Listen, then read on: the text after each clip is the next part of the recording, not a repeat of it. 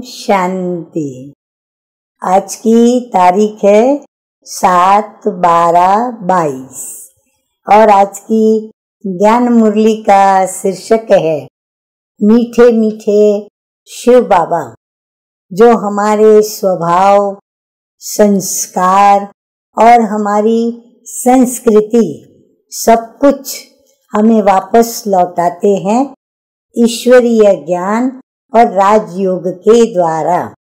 तो मीठे मीठे बाप दादा कहते हैं, मीठे बच्चे, तुम्हें अच्छा संस्कार धारण कर। पतितों को पावन बनाने की सर्विस करनी है। अंधों की लाठी बनना है। प्रश्न है, पिछाड़ी के समय कौन सी अवस्था आनी है? उत्तर है। पिछाड़ी के समय निरंतर रूहानी यात्रा करते रहेंगे। बैठे बैठे साक्षात्कार होंगे। बाप और वर्षा याद आता रहेगा। वैकुंठ देखते रहेंगे। बस अभी हम यह प्रालब्ध पाएँगे। बस सोचते, हर्षित होते रहेंगे। परंतु अच्छा पुरुषार्थ नहीं किया तो पछताना भी होगा। सजाओं का भी साक्षात्कार करेंगे।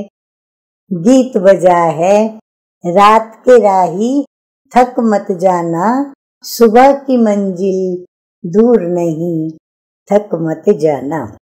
धारणा के लिए मुख्य सार के दो धारणा बिंदु, नंबर एक रूहानी यात्रा पर रहने के लिए एक दो को सावधान करते रहना है। कर्मातीत अवस्था में जाने के लिए सारा दिन याद में रहने की मेहनत करनी है। नंबर दो, कोई भी उल्टी चलन नहीं चलनी है। सबको सुखधाम का रास्ता बताना है। सर्विस का शौक रखना है।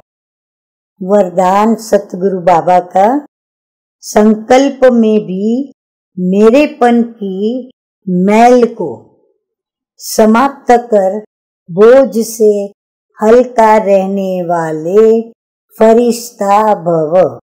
बाबा कहते हैं कि मेरेपन का विस्तार ही बोझ है। ये मेरा है, ये मेरा। ये मेरा तो ये बोझ मेरेपन का है। कोई भी मेरापन, जैसे मेरा स्वभाव, मेरा संस्कार, मेरी नेचर, कुछ भी मेरा है तो वो बोझ है और बोझ वाला उड़ नहीं सकता। फरिश्ता वो बन नहीं सकता। संकल्प में भी मेरेपन का भान आया। तो समझो, मैले हो गए। किसी भी चीज़ पर मैल चढ़ जाए तो मैल का बोझ तो हो जाएगा। तो सब बोझ बाप के हवाले कर, मेरेपन की मैल को समाप्त करो तो फरिश्ता बन जाएँगे। स्लोगन है, हर परिस्थिति में फुल पास होने वाले ही मास्टर सर्वशक्तिमान है। अच्छा मीठे मीठे सिकिल दे बच्चों प्रति मात पिता बाप दादा का याद प्यार और गुड मॉर्निंग। रूहानी बाप की रूहानी बच्चों को नमस्ते।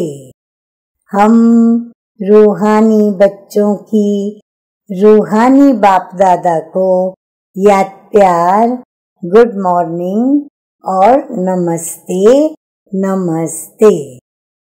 ओम शांति।